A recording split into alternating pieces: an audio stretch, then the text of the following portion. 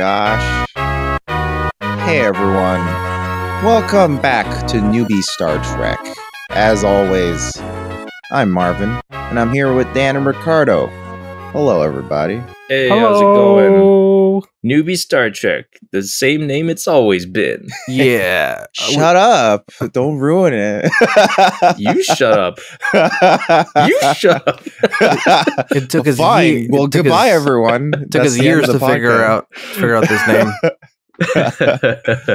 Uh, so as always, uh, Ricardo has not seen any episodes of the series except for the ones we've already seen for the channel or the Mhm. channel, the podcast, yes. and also uh, the one he accidentally watched, which I believe was Data Lore. Yeah. Uh, so- yeah. and then uh, I've seen the whole series, but I I've forgotten much of it. And Dan is also seen some of it, and he's here, and we're all and I forgot most of that.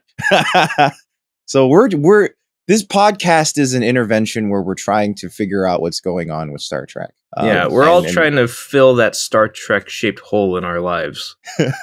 and force Ricardo to come along with us for the ride. We'll jam them in there too. Yeah. so this week's episode was Code of Honor. Spoilers: Most of the cast of TNG claims this is the worst episode of Star Trek ever made. So Really?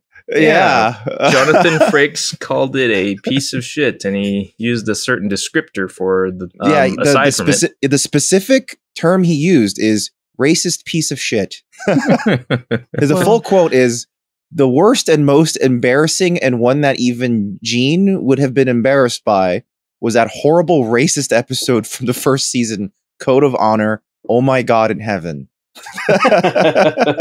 so, uh, so that's a good tone setter for what we're going to discuss today. This episode came out in the 12th of October, 1987. Dan, what was going on in this Halloweeny time? it wasn't quite Halloween yet.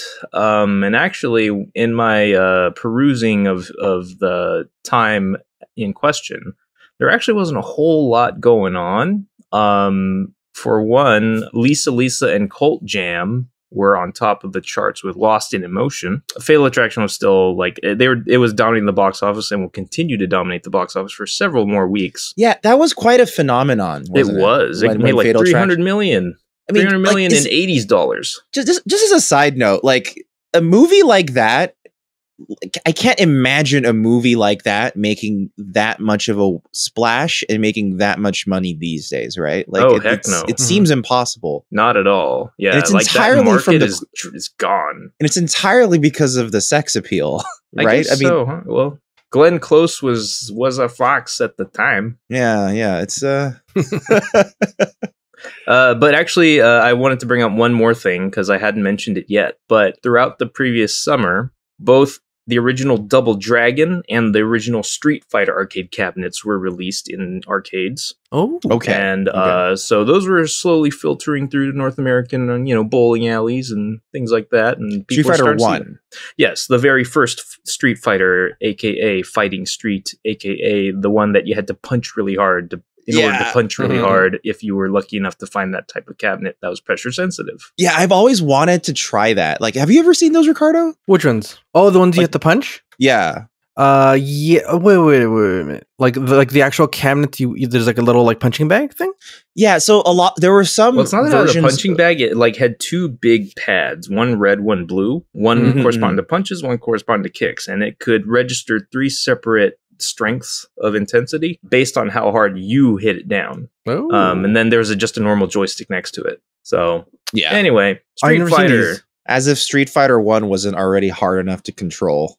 Yeah, you really feel the struggle of battle when you know you're wrestling with the cabinet itself. yeah. And and clearly there aren't many of those still functioning today because come on, The act of punching it is destroying the very apparatus. in America, people, Yeah, Am- don't last yeah, in Ameri- America. America's the country where people would will put peanut butter in in the coin slot so other people can't play the game. So, so this is fucking America. Yeah.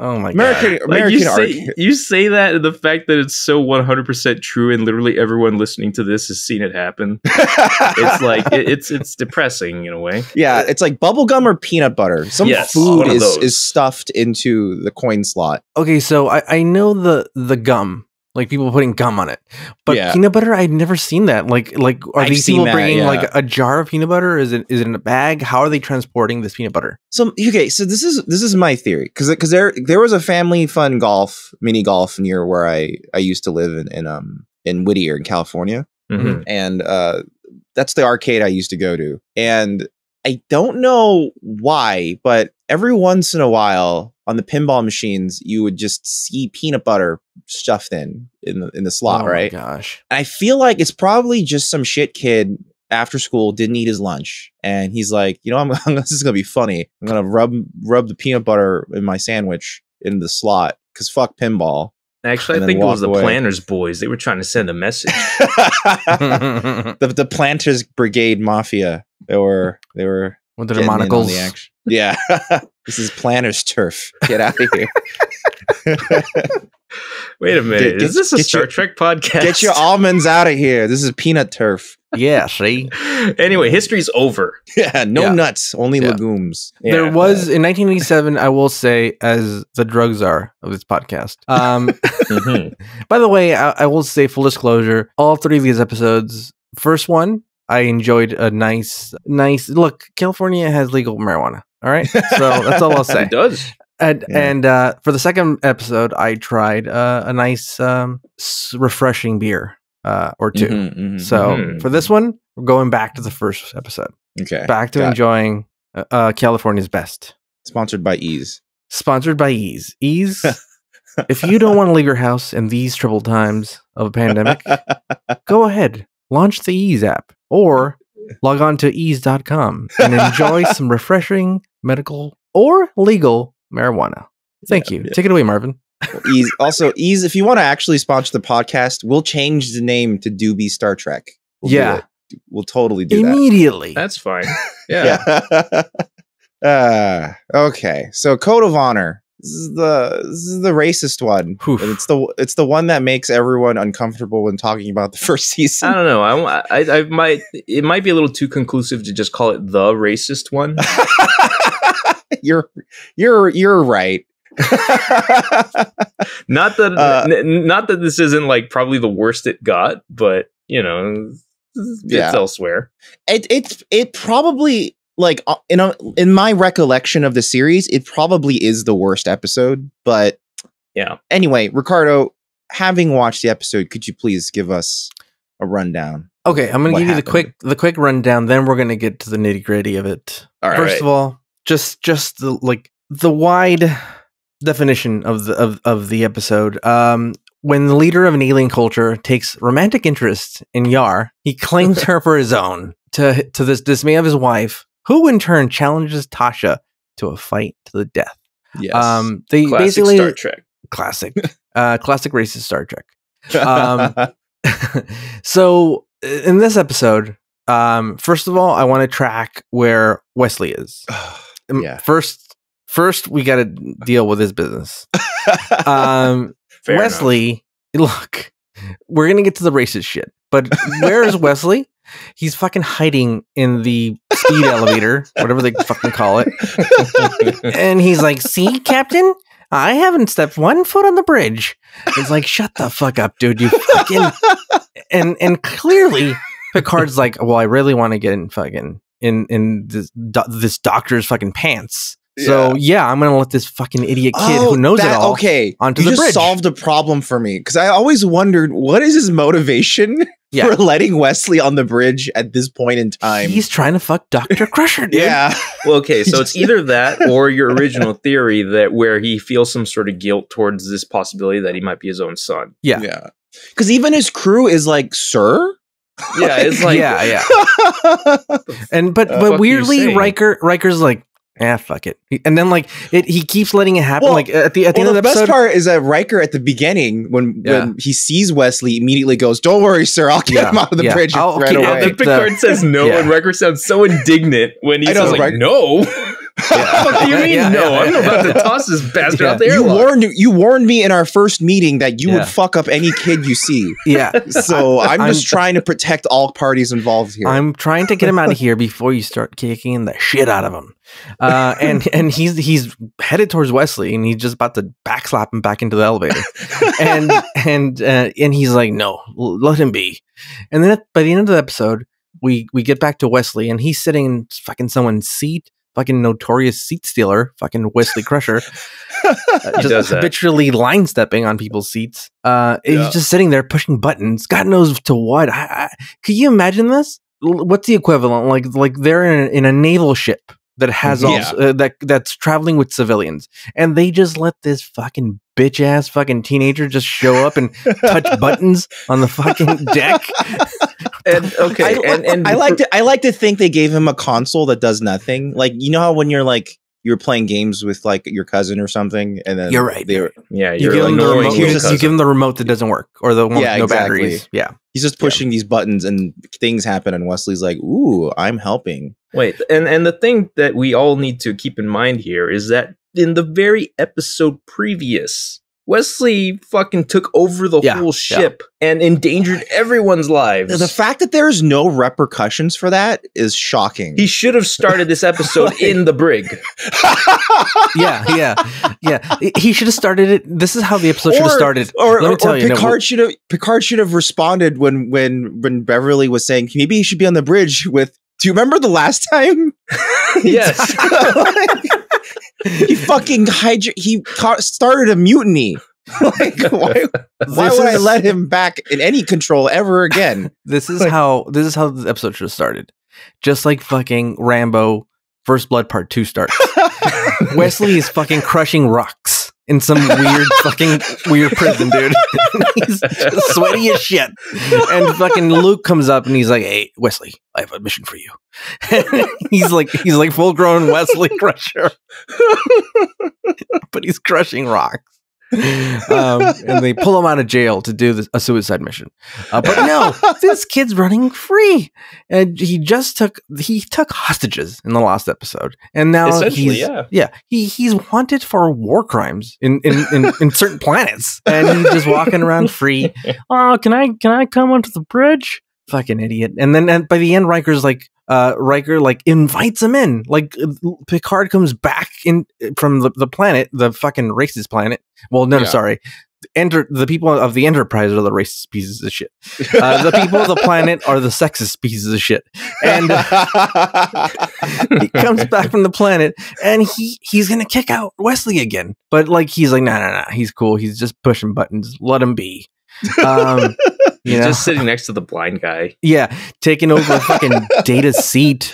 That's what Yeah. a great way to start. Like the, the two people at the front of the bridge is a blind person and a child. Yeah, yeah, yeah. Imagine, imagine like those dudes from that planet had. Well, they actually do walk onto the deck. I forgot about that. They walk onto the deck by the end of the episode, and Mhm. there's a kid and a blind dude just flying the ship. And they're like, "What the fuck is going on? Let's Well, get they don't off bat of an this." eyelash at that. But No, they were like, no. "Whoa, a woman, a security officer." I know. Yeah. yeah, that's the yeah. Alright. Here's the- here's the Yeah. clip where they're like freaking out. These are my officers. My second in command, Commander William Riker. Ship's counselor, Deanna Troi. And my security officer, Lieutenant Natasha Yar. A woman?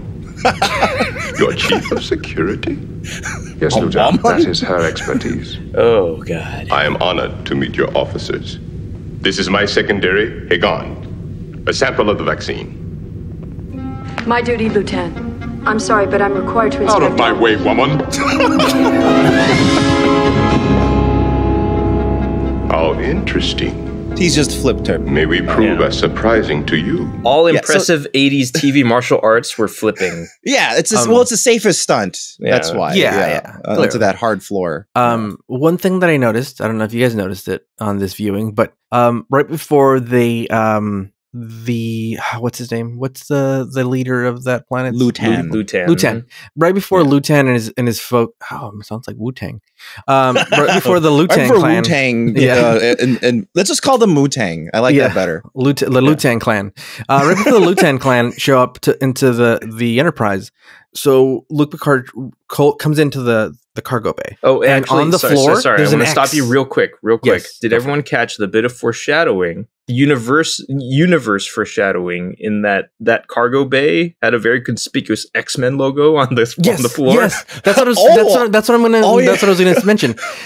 Uh, when where they appear is an X, is a perfect X with a circle over it around it. That's like true. A perfect X Men X. Yeah. Yeah, it's like Um, the black X over like with a red background. It even I think it Yeah. even had a damn yellow border, maybe. It did. It did. It did. It did. And uh, yeah, there you go. the The fate of Patrick Stewart was sealed. That's Mhm. th- that's the first thing that I thought when I watched that scene. I was like, "God damn X Men!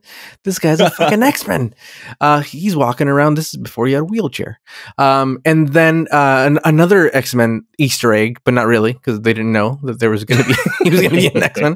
Is the where he has the uh, where Yar has the fight simu- simulation and she Oh, she yeah. fights the dude. I don't know why she puts on the top of the gi but not the bottom. I, I never I, I don't get that. She's like, You gotta show She's have your shiny wearing dress pants, shoes. I guess. Yeah. yeah, yeah. she's like, Oh, look, I I am gonna give you okay, a demo. So I get why actually. So there's a there's a minor explanation. Um, for for combat uh, martial arts like well aikido or judo, the gi is actually because the martial art is based around grabbing the gi. oh, like Brazilian Jiu Jitsu kind of. Yeah, so it's actually based on the clothing. So that's why she wears it because you have to actually have the clothing on for a lot of the moves to even work. Oh, okay. Um, yes, but that's why she doesn't need to put on pants because she's already wearing pants or whatever. my Good my okay, but my my response to that is, well, what if you're fighting a shirtless man or a yeah, woman? th- You're that's like- why like, Aikido and that's why like the strict combat versions of those sports aren't very Yeah. useful. Yeah. In fact, it, it would really throw you off if you're fighting a a shirtless woman. You'd be like, oh. No, let's not fight. I'm sorry. I don't want. I don't know. I, I'm out. You know, I, I, I, there's- I just can't. We can't. The we're gonna get into lots of issues Yeah, and problems. there's the legalities of this. I'm sorry. I don't want to fight anymore. Like, speaking of that Aikido simulation, like at first the the uh, Lutan's like, you could create people without a soul, and then and then Tasha's like, it's not a real person, It's Lutan. not- it's and not I'm yet. like, as soon as she said, it, I'm like, can we get that in writing? I guarantee Oh. that you're not going to think the same eventually. Yep, yep, Yeah. yep. um, so, Foreshadowing. oh, interesting. but this room is very much like the um that room. I forget what what it's called Danger in room. X Men. Danger room. The, yeah, yeah, it's the kind of it has the same feeling to it. Oh, definitely. Um, So that's the that's the premise is that initially they need the vaccine, so then they come aboard. yeah, but then and now, yeah, that now it's, like, vaccine really is weird, so really like thoroughly like cock blocked in, in the plot writing it's like oh well as soon as we tried to replicate this vaccine it just didn't work anymore yeah. Well, why In not? It got, I it don't got know. deadly. Sometimes replicators are great, but sometimes they're just shit. Yeah, and Yeah. they just don't. it's like are you telling me that the society that you are are like boldly claiming is is more primitive than your own and less technologically advanced than you why can't you replicate their vaccine yeah, it. Why This- do they this have episode- transporter technology yeah, this Why they- episode is full of horrible contradictions. Like this is a this is not a very well thought out episode. But Ricardo, sorry, continue. No, so in this episode, so Lutan, uh, Lutan, sorry, Lutan, the Lutan clan, um, they are. They say, "Hey, you want to see the demo? The, I heard there's a king of the demo here that does a lot of Aikido. Want to see it?" and so, so they go to the, the the thing. But Luc Picard, if he says it does a lot of things, and it, it, came, it came off like like, "Hey, you can fucking there, dude." And, and it's it's Yeah, safe. totally. It's safe. yeah it's safe. absolutely I, I imagine it's actually probably like an actual part of like like okay for example so Klingon not Klingons uh, Vulcans go through a thing called a Pon farr. Yes. Um so, so, like Vulcans are very like logical and and supposed to be emotionless right? Hmm Mhm. um but one of the things that happens with Vulcans is that all that sexual urge builds up and they got to do something with it. So every decade uh they just go on a crazy fucking spree and that's a like that's every seven years or something. Something yeah some some some time amount of time they do a pon farr. Oh i think what i think it was actually in voyager um tuvok goes through his pon farr but he's stranded and there are no vulcans to fuck. Oh. so they create a vulcan simulation in, in the, the the holodeck. He just goes on a fucking spree in there i believe if I There remember correctly. Yeah, so so it's it's totally a sanctioned thing. Oh, it's funny that For you the bring up holodeck. Pon farrs in in regards to this because the like the Pon farr that put Spock into a frenzy is what Yeah, resulted in like the that famous- fight to the death. Yeah. Yeah. yeah, you're, you're you're half expecting that music to play in, in this one's battle exactly it yeah never i did. was about Yeah, to bring never- that up it's like it Yeah. feels like kind of an echo of that sort of i don't know the, the fight to the death like it, it- it's it feels like it was just kind of Way like, dumber remember? though. remember that like like it, like that the the original series version of that fight already looked kind of awkward, but they managed to make it look even more horribly awkward in this oh it's so good by being anyway, so we're getting terrible. really really ahead of ourselves. Sorry. Yeah. Uh, no, no, it- no, no. So I- I'm glad this is information that I need, uh, just personally. uh, so they do use the holodeck. They use they use the holodeck for orgies. The the, the the holy deck uh, to really get down. Uh, good to know because that's what that's what they are they they're hinting at. Like it's just like it, it do a lot. yeah, he's he's, he's going like, hey, Yeah. just to seal the deal. Yeah. I mean, maybe. yeah. What do you what do you what kind of shit are you guys into? um and and so she she shows him the demo and then like this dude's in love like and then and then they cut to like uh deanna troi and they're like i sense a lot of like basically she's like these guys are fucking horny dude Mhm. these guys are horny as shit and they Oh, I think- Sorry, one thing I think we should mention is is that uh we have, we haven't gotten across the fact uh the entire planet is black. Yeah Uh, yeah So right all right these things where they're like primitive and stealing white women and like yeah all, all these like weird tribal customs, it's quite weird and problematic. yeah being Probably not just in hindsight, but probably at the time as well. oh But yeah they kept, but they went along with it anyway, which is really odd. yeah uh, it's weird like they're like hey this planet these actually this, uh, this African American planet is going to steal this white woman, and Yeah. and they're like, okay, all right, well let's let's film it. I'm glad you brought it back around to that because I wanted to mention this because one of the first things you hear about this race of people before you see any of them is that they call them oh they're very closely humanoid. Yeah, it's such a weird way to phrase. But then when you actually see them, they are clearly 100% humanoid. The only thing Yep, that's different about them is that they're black. Yep, Yeah. yep.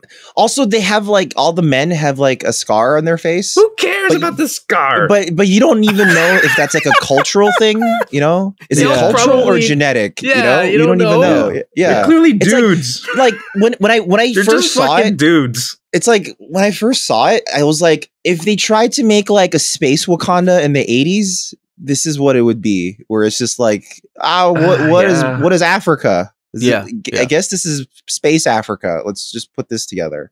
Yeah. And it's Um, just They did do a good job. So like, there's a scene where they're like, they come over. So so so uh, uh, Yar has been abducted, and they go down to the planet to see what's going on, and they're having like little dinner, fucking lunch, and like you could see a sunset going down. It's a soundstage clearly. But it's really well done because like the back feels like the sun's going down, so like it's like Well, it's like beautiful, a reddish sky. yeah. It looks really nice. Yeah, it's really yeah, well they- they- done. Yeah, and in the Blu-rays, it like the color is super rich and it looks really nice. wow. So yeah, it's I think they- it's very important to ve- be very clear about what is well done. yeah, yeah, Yeah, the the the it, it looks like you're in a jungle, like in a jungle like environment, um, Right. And it is, I mean, for for it being a soundstage, it looks fucking awesome. This is one of the better built sets. Last episode, we saw some shitty fucking sets, Mm. Um, but this Don't one worry, was you'll actually. see some more. Oh, really? This is- it's Star Trek. So Yeah. Shitty sets And are wait- coming. They're they're coming. wait, wait until you see that barrel fall. Ooh, yeah.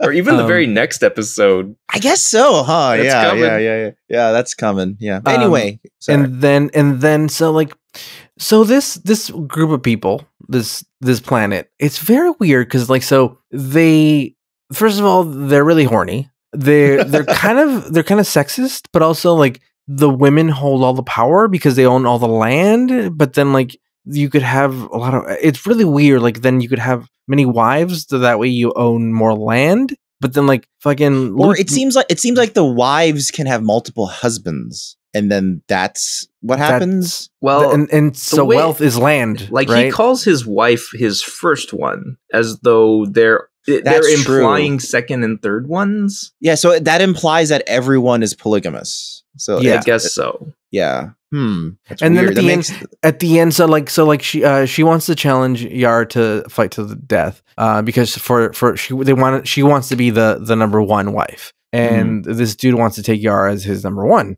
And um there's a lot of number ones. So is Riker's number one. Like Yes. Luke what, like Luc Picard's gonna fight somebody? You know like this Uh-huh. is my number one you bitch. Um and they're gonna fight to the death to be the number one wife. But it's like you own all the land. Why do you have to fight? Let her she doesn't own any land. She's on a fucking spaceship um it makes yeah, it makes the politics really confusing. Like I don't quite And the kicker on all that it. is that they keep on they keep on trying to imply that this is reminiscent of how, you know, older human civilization was, but it's like who was like this? Who had this Yeah. setup? I mean, I mean, we're not history experts, I guess there's not, some but- weird, obscure culture that did that. But like, okay, Dan and I are Korean. I don't think Koreans ever did that, right? That doesn't sound right. I am Ch- not an authority on Korean history. Yeah. or I don't think I don't think China or Japan ever did that either. Uh, I think it was it was just all men. so, Yeah. uh, but then and like warlords. But then like. I don't know what culture. Like I know there is there is this there is this island culture where um uh, women it was it was a matriarchal society and it was like considered that uh women are actually like the source of like babies to the point where like they thought like when people have sex it's not about the man giving sperm it's about the man opening up the woman for like a spirit to enter her to make the baby but that's like a very obscure culture i don't even remember the name of that culture so i, I don't know i don't know what they're i don't know what you probably just made it up. yeah Yeah. I mean, all, there's also the possibility that Deanna Troi just doesn't know what she's talking about. Yeah, there you go.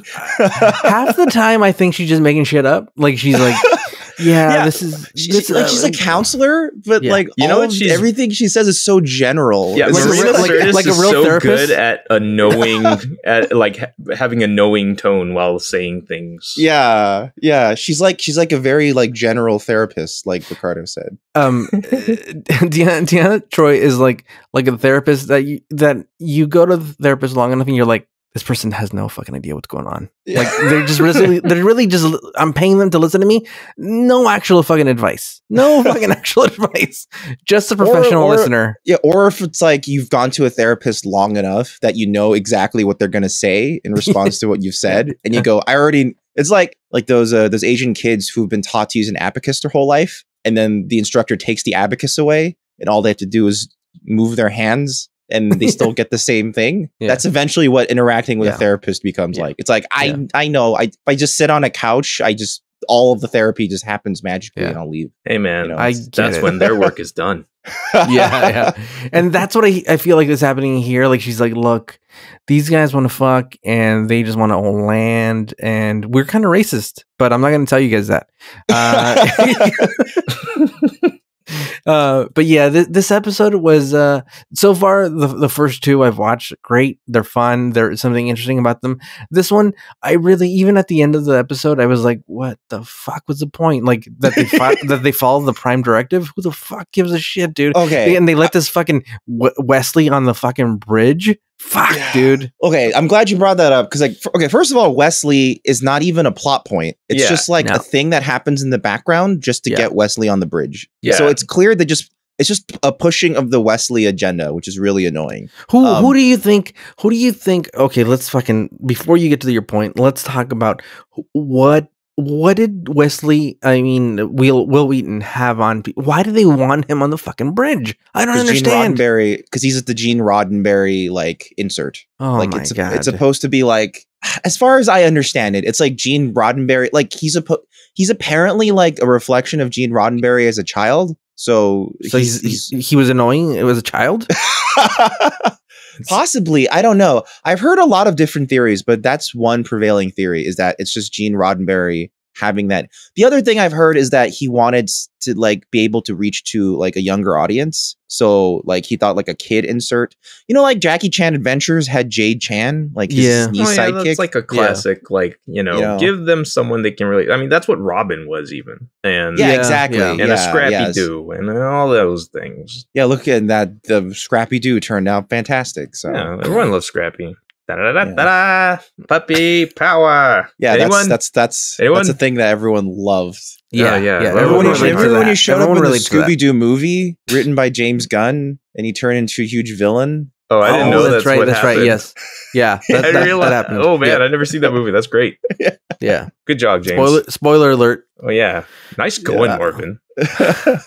Spoiler Um, alert, yeah. don't watch Scooby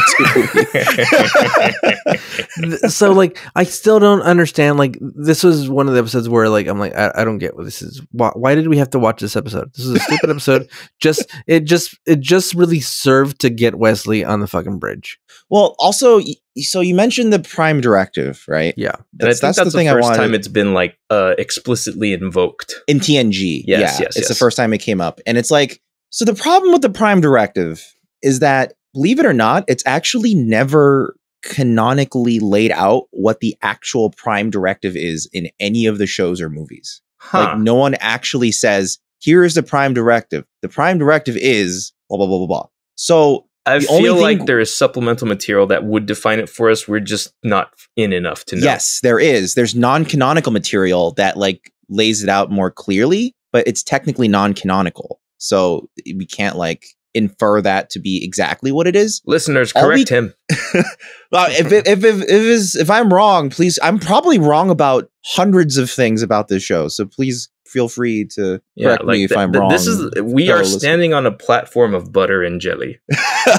yes, uh, but but so so generally, what people can gather from the Prime Directive or what it's about is from the context in which it's invoked, Mhm. and generally, it's understood to be don't interfere with the natural evolution of an indigenous culture, right? So basically, if it's a still developing culture and they don't have technology that's on the level of the Federation, just observe them from a distance, don't interfere, don't change the belief system, etc., right? Just let them keep evolving until usually the de facto event is that they invent warp travel. Because Right. that means they can travel from planet to like solar system to solar system and like because that that's what happens in Star Trek First Contact, the movie. That's why that's how the Vulcans discovered Earth Oh. is that the the first Star Trek guy uh, created a warp drive and they detected the warp signal. Yeah, So John Vulcans Star were Trek. like, yeah, Johnny Star Trek uh, did a warp drive, warp jump, uh, and then the Vulcans were passing by and they're going like, "What the hell is that?" And they came by and they're like, "Oh, you guys are here." So that's that. But here is like jumping ahead a little bit um, because like Tasha Yar gets kidnapped, right? Mhm. And the whole premise is supposed to be that we have to go through their weird cultural bullshit of Tosh asking for Tasha Yar to come back. And then, you know, he invokes that thing of wanting her to be her first one. So a fight challenge is proposed that Tasha Yar has to be involved in in order to not break the prime directive Mhm. that doesn't make any sense because Yeah. the prime directive is supposed to be for a developing indigenous culture you haven't had contact with we're asking them for a vaccine in, Yeah, in, in yeah. at least one respect they are more advanced than the federation like they already clearly have warp the, the teleportation technology. I mean it stands to re- and they and they can transport onto their spaceship. It stands to reason they probably have some sort of spaceship travel as well. Even if they don't that's the fact that they can they were allowed to teleport onto your spaceship in the first place suggests that we're already interacting with them. So i don't understand why the prime directive was invoked here. Like I, I they probably like if you wanted to make it work for the story picard probably should have just been like we don't want to ruin diplomatic relations with lutan like that might be but that's not what he says Yeah, he Yeah. doesn't He- say that, but it always feels like that's more the motivation of what's going on because it's like we don't want to piss him off. We still on the hook for needing this vaccine, and yeah and Yeah. it's it's it's odd i just don't know i feel like the only reason it was brought up is because like they're probably like well we're four episodes in and we still haven't said the word prime directive so we gotta say it we gotta say it Actually, I Um, really I f- love the part the part where uh, Deanna says, you know, things would be so much simpler if it if how simple things would be if it weren't for the Prime Directive. And yeah, and it's like Picard's Deanna's like, you don't believe how much I want to ice all of these motherfuckers right now. Uh, so the more and more I think about it, you're right. Like this is this is space Wakanda because like the, the the vibranium is the vaccine. You know, Yeah. they- Yeah, they, all yeah, everyone wants yeah, to get it. yeah, Absolutely. yeah. yeah. Yeah. Yeah. And they have advanced they look primitive at glance, but their technology is way more advanced than they they lead on. It's You know. just unobtainium again. Yep. Yeah. Unobtainium. Yeah. god. oh Isn't my it- god. Isn't an unobtainium uh isn't it Avatar? Yeah. Yeah, yeah, yeah, yeah, yeah. well, unobtainium is, is just because it's supposed to be the like I can't. Never mind.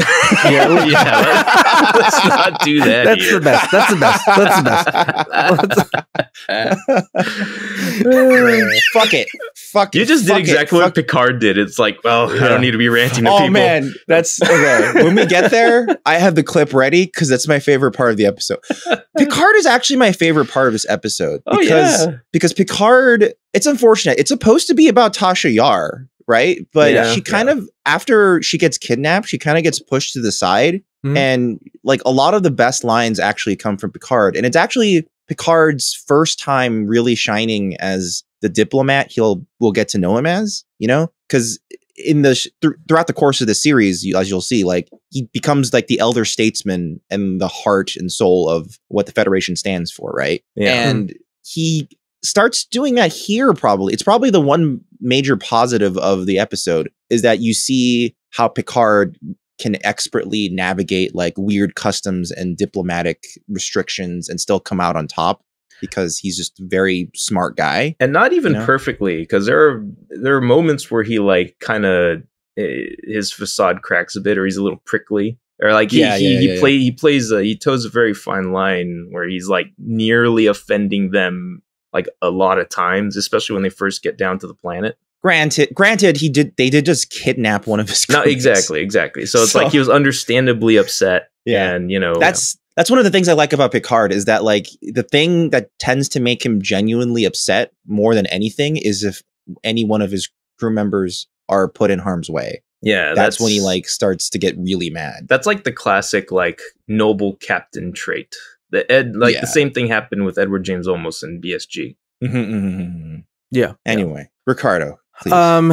All right. So uh, he's kind of being diplomatic, but you're right. This episode would have been a lot better if they would have concentrated on Yar being like, like, look, like we don't give a shit about whether somebody's a dude or or, or a woman. Like she's she's the fucking security officer. Fucking deal with it, you fucking bitch.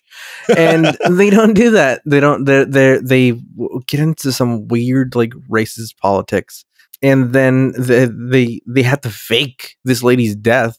Yar kills this lady in this weird like fighting to the death ring that like has like weird lights that like will zap you, and then Yeah. like they have like a, a glove with nails that are that have It's like a- poison on the tips. Yeah, they call that the stinger. The they, they don't let you use that no more. yeah it's like a it's like a dangerous jungle gym essentially. Yeah, Yeah, I, I called it a a laser stripper jungle gym in my notes.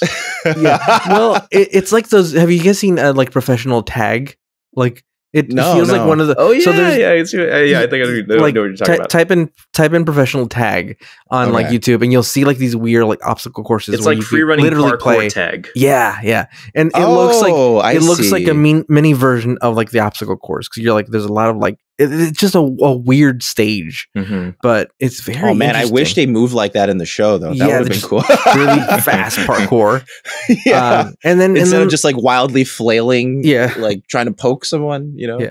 and and the Yar finally like pokes her in the back, and Well, she before like that happens, like it, it's funny because like incidentally the- it- kill a man. Yeah, uh, yeah, it- yeah, it, flies I off. That. I forgot about that. It flies off. It falls fly, off. If, yeah, it flies into that guy. Like, every, okay, first of all, everyone's just clicking sticks in the middle Yeah. of the fight, right? So like, No, no, no. it's like they're thunder sticks. and the best part yeah. is like before any of this happens, at the beginning of the fight, they say there will be no interruptions. yeah, none. yeah, none, no not one, one. until, no interruption until someone's dead. yeah, and, and they start with the sticks. and they play the sticks.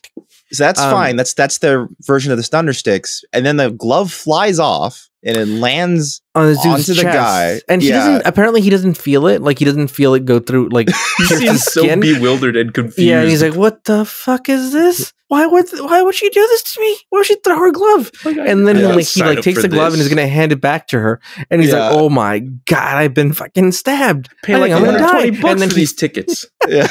these and are he for dies. receipts. and he, he, dies. dies. They and they carry him off, and everyone's like, "Oh, okay." And they start playing the Thundersticks again. Yeah. like nothing, like nothing matters. And they're like, Um, "Give her back the glove," even though we said we Yeah. shouldn't interrupt the fight. Yeah. Yeah. Technically, she lost the glove. She doesn't get it back, and she's screwed. But no, Yeah. they give her they give her back the glove, and then uh, at one point, like she's in danger of losing the this the the not Yar the challenger, and this, the dude who's yeah the dude who's like second in command, uh, Mhm, one of the Lutan clan. Uh, he's like he's like he's like he's like oh be careful. Arena and and like you're like what the fuck like does does he, does he like her what why why is he so concerned and then uh Yara stabs her in the back and and uh, immediately jumps on her body and they get teleported out of there back to Mhm. the back to the Enterprise and uh Dr. Crusher uh like fixes her. Well she's like oh her, her body is already cold. She's dead. Yeah. and so she's she's dead but they bring her back somehow you know? And then old Lutan and the crew they show up on the Enterprise and they're like all right i guess uh you know um i guess everything's fine now because they fought to the death. Well where's my wife? I want to marry uh yar. And ah, fuck dude. This episode was fucking hard to watch man. And then and then the, and then he's like what the fuck my, my wife is alive and then you're like oh yeah that's right. He just wanted the land. He wanted her to die. This this is all a setup. Why don't you just kill her dude? Why did you just why did you set this whole like big old thing to to get Yar to kill her? Why didn't you just kill her from the beginning? Uh, and also at, at the end of the day why do you want Yar? She doesn't own any fucking land. Well, I think I think the it's confusing, but I believe the ploy is that he doesn't actually want Yar. He just wanted to make his wife jealous to, to have fight her die in an honorable way, well, my re- so that he will inherit the land. I actually read that differently. I think I think the ploy is that uh, he was more physically attracted to Yar, and so she wanted he wanted to keep Yar as his first one. But um, if Yareena had died in combat, then Yar would have inherited her shit. oh okay, okay. Oh, I see. I see. Yeah. that makes yeah. that makes sense but th- Either it- way, he's yeah. winning. That's why. That's why Picard has a conversation where he's like, either way, It's you win-win. win. So Yeah. yeah, yeah. And all the while, Yeah. you know, Lutan's like, oh, oh, "Oh, I don't care about women. yeah. I think they're objects." Uh, oh my Yeah. god. And then and then he, he's fucking offended that she's still alive. And they're like, dude, we got you in your, in on a technicality, dude. Because she fucking died. She died and we brought her back from the dead. That's dead. not how that works. And like no thankfully, doctor. he's go- so honorable that he just Yeah. takes it. he's like, well, Code uh, of he- honor. Yeah. He's like, he's like, Picard's like, them's the rules. Sorry. And and then That's Lutan's your like, honor, bitch. yeah. And Lutan's like, well, you got me there. Okay, I'm gonna go. Bye. Well, no, And no, then- he'll he'll return as one of her bitches. That's right. That's right. And then she she's like, well, well, this dude was the only one who cared for me, so I'm now I'm, I like this guy now. And I'm like, what's going on, man? Like, so now like so now he's the he's the guy who, who's he's the wealthiest guy on the planet now. Uh, it was- okay, it was- it's like for such a monumental commitment of resources, she's very flippant about just giving away her power. Yeah, Because like yeah, it's yeah. Yareena 'cause the way has this so culture- little self-respect. It, it's it it's- seems like yeah, it's, it's, like- it's like insane. because because it seems like the way this culture works is that women have the power, and then what am I like? What I what I seem like it's going on is that they have the power until they get married. So the act of getting married is like a huge commitment for them, but she just does it on the flip with this guy that just called her. Maybe he was just just a worried guy, you know? Maybe he's like, "Oh, I Uh, actually don't care for you very much. I'm just Yeah. don't like seeing people fight." you Yeah, know, like- I, I don't like my people dying. Um, but but but this is interesting because at first she's like, well, well, I don't like him having a first wife. I'm gonna fight to the death because I love him so much that I I want I want my honor and like all this bullshit. But then at the end she like flip flops very easily. Like, well, mm, I'm still alive, but no, no, I want this guy. Like you were just willing to fight to the death, like literally yeah, ten like the minutes crazy ago. thing what to happened? me is that like the ploy, like the ploy as we now understand it, is obvious from the get go. It's like obviously they're to fight to the death, and like he he declared his infidelity in front of her, and she Yeah. was and she was all like, "No, no, uh, like you're not taking my man," and that was like, I don't know. It's like it's clear that he doesn't care for her anymore. So why is she so surprised? This is this was like the intergalactic Maury Povich show. Yes, like Like Lutan totally. has a new wife. What do you have to say about this? Well, fuck that. I'm gonna fight her to the death. yeah, that's exactly what it's like. Yeah, well, here we've got a big surprise for We got a you. big Here's surprise. Jean Luc Picard. He's going. And then Jean-Luc's like, yeah. He, he to get more walks in with he walks in with the death certificate. Yeah, He's like, yeah. she was dead. Yeah. And- Ooh, and then you see that Now, guy like put who- his fist near his mouth, like, ooh. now, now, Luc, we have the paternity test. You are not Wesley Crusher's father. and he jumps in fucking joy. Cue Fuck yeah, it's, probably- it's Riker. yeah. Oh, man. I would I would watch that that episode of Star Trek. oh man, the one the one where Jean Luc Picard is worried about being a father. yeah, yeah, yeah, Yes. yeah. and then they have the, another guy who's like, "Fuck, it's probably me," and they go to him, and it's not him either. it's Riker. He's he's like, um, "It could be me. It could be me." But it's like Yeah, you just- never you, you never fucked the doctor, dude, and you just met her. Wesley was full grown when you met her. You idiot. He's like, I don't know. We can't we can't Yeah. rule it out. Can't rule that. I, might have been. I was. I might have been drunk and time traveling. yeah. Yeah. They probably, you know, in you the know, world of Star Trek, that's actually not super unlikely. yeah, they probably that had they had happen. Probably had sex while slingshotting around a moon. Yeah, yeah, dilated There was some a weird- time. yeah, yeah, yeah. Oh man, this episode, um, not very good. Yeah. So I just for some context for why the episode is this way. Apparently, the original premise of the episode was supposed to be that they were a very Japanese samurai style. I was going to bring that up because I saw that too. And it's like, well, yeah. Yeah. like you hear all this shit about honor. It's like, well, this sounds like stereotypical racist Japanese shit.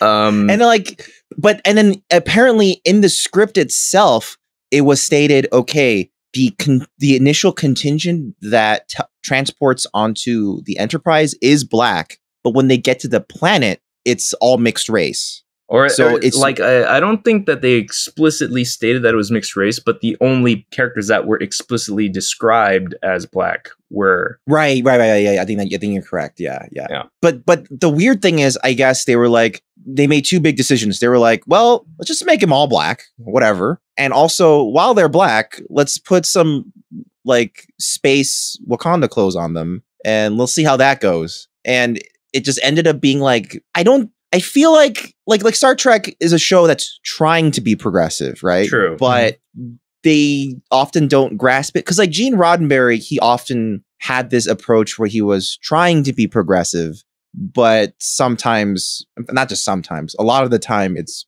bumbling and like In terrible the end, way to it's, approach it. it's worth remembering that no matter what, these were still these episodes were still written by a bunch of white dudes. Yeah, yeah. exactly. You're yeah, that's the perfect way to put it. At the end of the day, it was just a bunch of white dudes trying to pretend that they could write. It could only about- get so yeah. woke. yeah. or or Yeah. you know just have any understanding of what a space African culture might be like, or why bother with that in the first place? You know, you You say that like there's a proper way for it to be done that everyone knows. well, maybe there maybe a black person would know, right? You know, I don't know. Anyway, the, the the highlight of this episode to me is that uh, a lot more of Picard's personality tends to come out. yeah. and there's there the, there are these two moments that kind of make the episode at least enjoyable to me which is uh there's the part where data is trying to explain something to him and it's it's this one right here Let's hear the analysis. It is a highly structured society in which people live by strict codes of honor. For example, what Lutan did is similar to what certain American Indians once did called counting coup. That is from an obscure language known as French. Counting coup Mr. Data, Oh yeah, this. the French language for centuries on Earth represented civilization. Indeed. But surely, sir, I suggest you drop it, Mr. Taylor.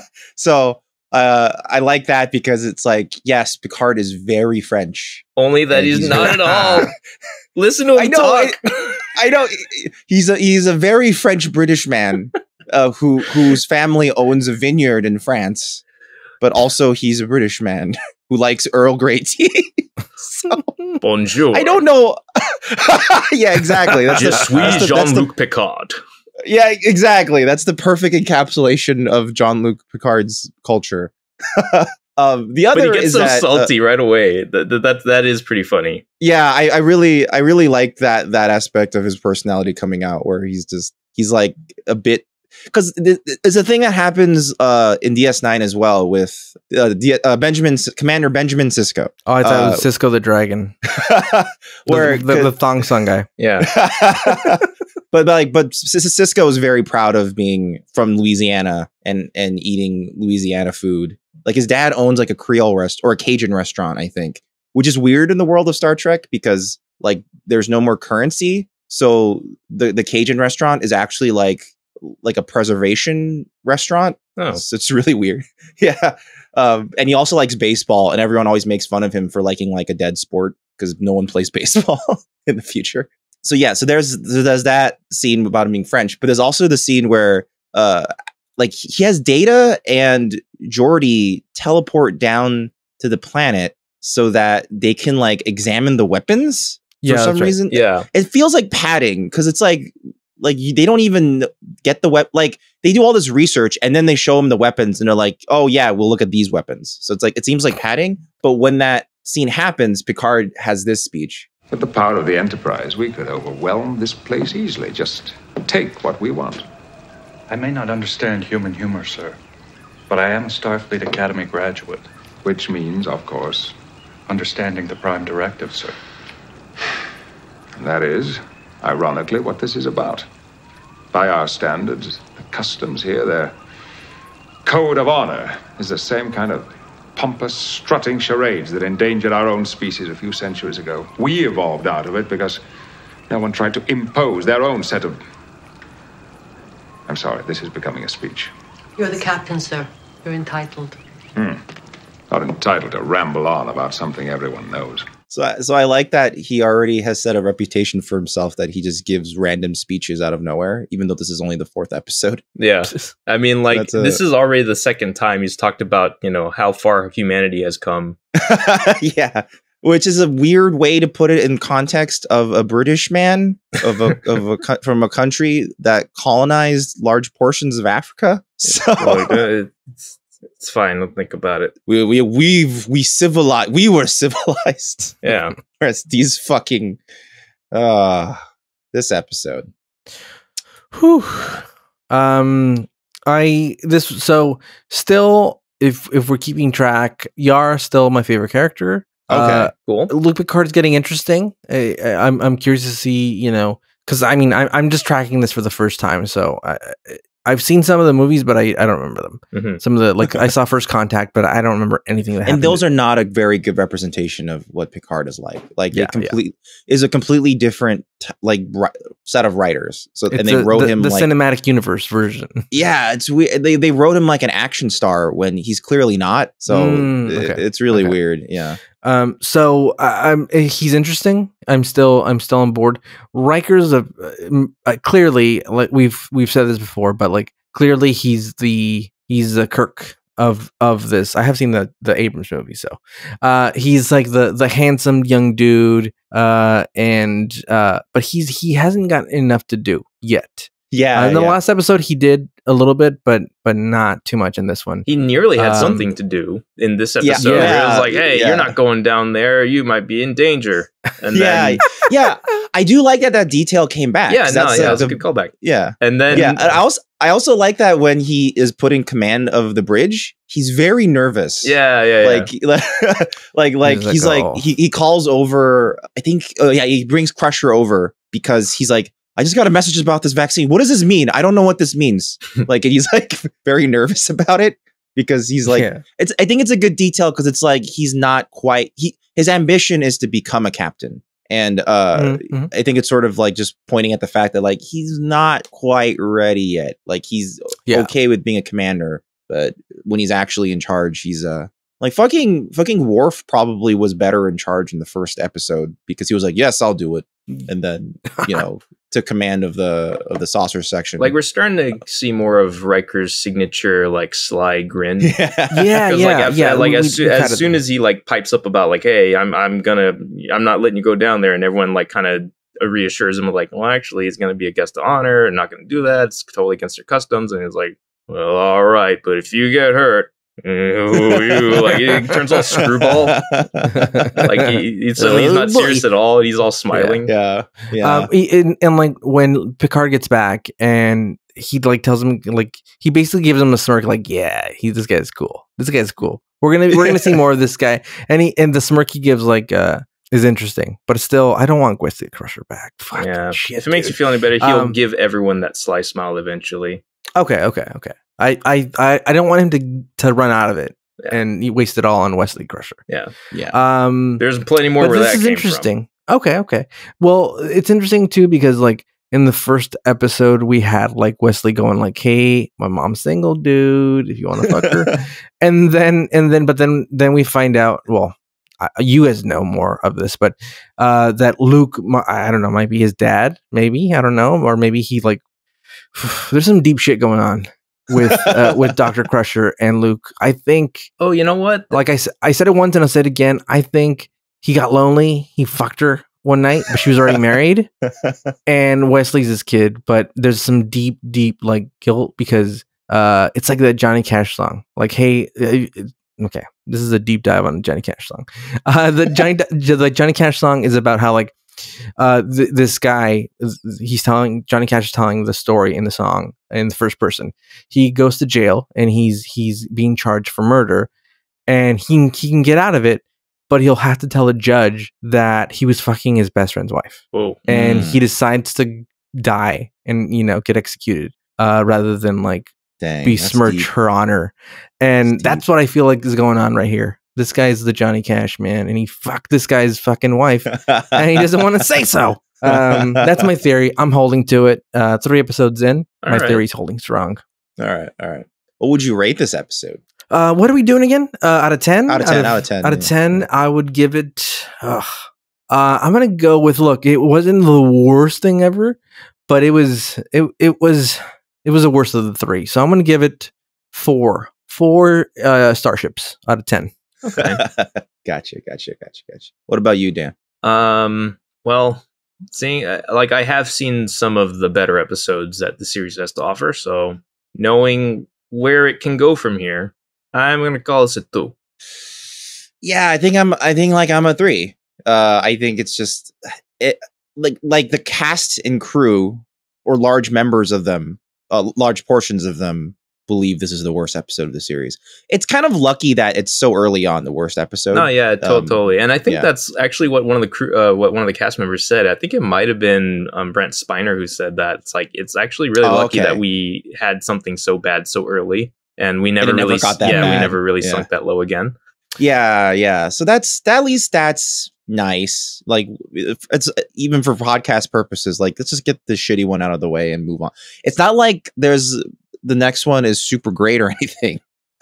Well, now I feel like I, I was too generous with it. Four out of fucking ten, and you guys Nah, give it a two well, and well- three. Well, listen, let we'll let we'll let you. I don't know where to go course, from here. Course course correct as Okay. needed. You know, we're I may have These to- scores are I- spongy. Yeah, at, Yeah. at the end of the season, I might have to co- go back and be like, "Hey, sorry, dude, I fucked up.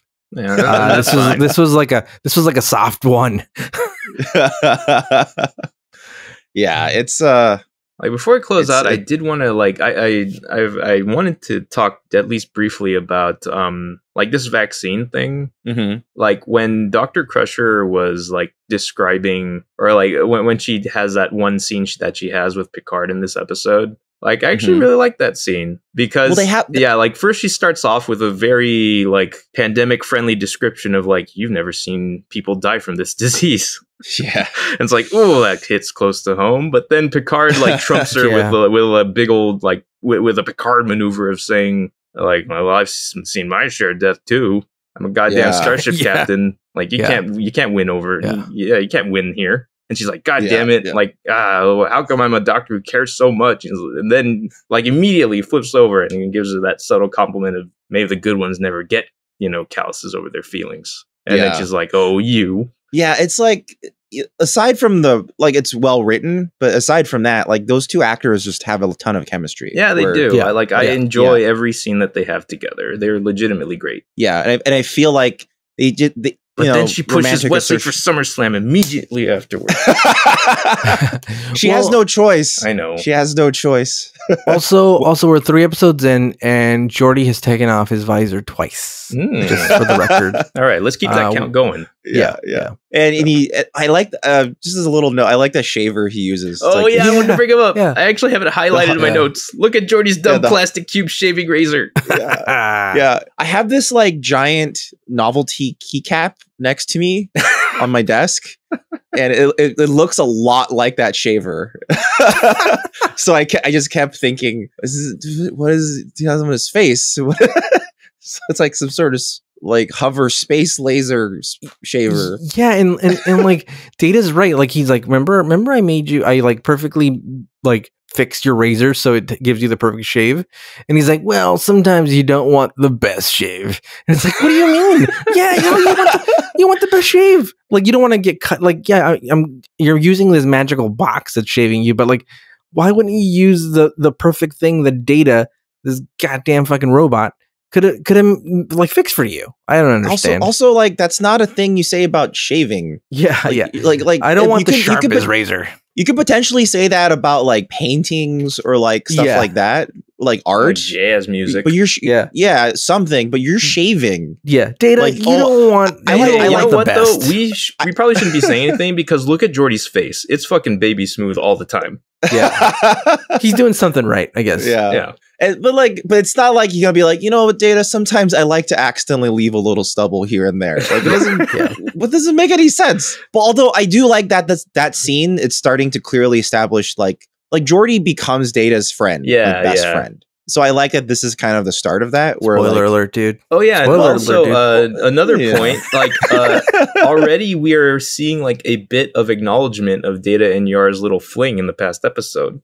Oh, what was that? I, I, Um, I, I like don't remember something that is part. said. I forgot the exact line, and I, I I feel remiss in not having it written down like verbatim in my notes. But like Yar Mm-hmm. reacts to a line regarding like the sexual tension she had with Lutan, and then Data like kind of like gives her a look. It's like Oh, it- it's something related to that. Like like it was Yeah, a very yeah, clear yeah, like yeah. callback to the the previous episode.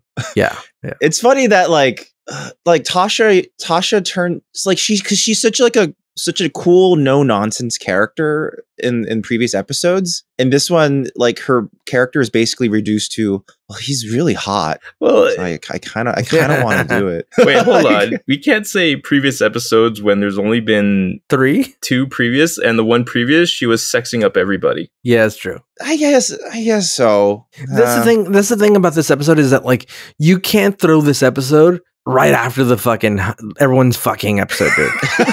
You know what I mean? Yeah, when you Everyone's just think about spot, what yeah, it must have been wrong like to spot, yeah. absorb these episodes in like that Yeah. sequence in you know in that timeline, it's Yeah. like what were these people going what through? is this show Yeah, what is this show? imagine you're watching you're watching uh, like like them air like every week and you're like you get to episode two and you're like god damn dude it's getting fucking sexy dude none of that Really fucking fast. bullshit yeah none of that bullshit with fucking It's like you like Pointy sex, huh? ear- How about racism? yeah yeah let's go to all the isms yeah yeah. right away. Um but yeah so uh not the best. Uh, this is one of the ones so like i'm keeping track of like okay so like the the as we call it the sex episode last week's episode um eh, or like the wesley hijacks the whole enterprise episode i would watch that again. Mhm. It- you know there's a lot of fun funny stuff in it but this one i i don't care to ever watch it again. Fair, Mm, mhm. Yeah hard pass very fair. Yeah. That's that's completely understandable. Yeah. Uh so and the next episode, the last outpost, uh, is the one where we see the Ferengi, who themselves are sort of a racist depiction of, of Jewish people. So Yeah, and that's kind of Uh, hard coded mhm. into the into the lore of the universe. There, yeah, it's it's something you can't really ever divorce from the the DNA of Star Trek. The fact that the race itself is just kind of fucked and poisoned this way. But here we are. We're gonna we're gonna get into that. And uh, in the meantime, if you want to catch more episodes of Newbie Star Trek, you can find it at newbiestartrek.com.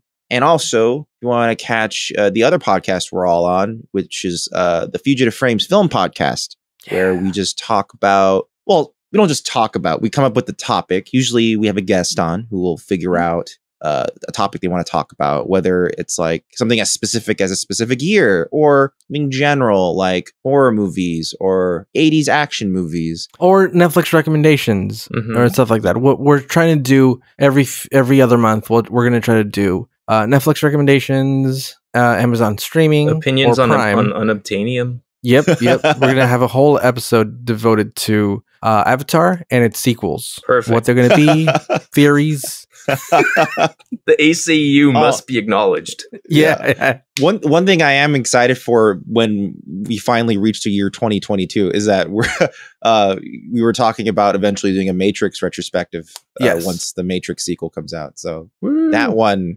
preemptively I'm excited for because spoilers, I love the Matrix. so if you want to catch the Fugitive Frames film podcast, you can find it at fugitiveframes.com. We also have a YouTube channel called Fugitive Games where uh, Dan and I, and I, I think at this point also Ricardo and Marcel, uh, Yeah. because you guys are also uh, been recording some videos for our channel. Yeah. Um, spoilers, it's going to be something for Halloween or Yeah. the, the, the Halloweeny month. And, we're uh, peeping and we're creeping. yeah. Uh, and uh, we, we basically do let's plays. Sometimes we do reviews uh, and some other fun stuff. But, you know, you know, it's, uh, if you want to just hear us talking some more shit while we're playing games kind of mediocrely. Yeah. You could you could go to fugitive.games. That's the URL or search on YouTube for fugitive games. Um, and then the, the podcasts you can find them all over now. Like uh uh newbie Star Trek is I think at this point I'm pretty much every Major Podcast podca- portal? Yeah, pretty much everywhere. Yeah. Anywhere fine podcasts are sold. yeah. Yeah. The only caveat is that for some reason it's still not showing up on the Google search. So uh, if you guys want to subscribe for it for Google Podcasts, I would suggest just clicking on the link on our website. It just takes you to our page, uh, to the Google Podcast page. You can just click subscribe and you're done. Um, but we're also up on Apple Podcasts, which means you know it's distributed on lots of different uh, podcast portals like uh, Podcast Addict that uses the app, the iTunes search engine, and then also Spotify, which is a really nice, easy way just to listen because everyone's got Spotify at this point. So Yeah. you can just listen to there. But yeah, next week we're going to talk about The Last Outpost, which is going to be the one where we're going to probably be making fun of the set as much a lot. so uh in the meantime, I've been Marvin. This has been uh, Ricardo and Dan, and we'll see you guys next time. See you later. Later, How am I not myself?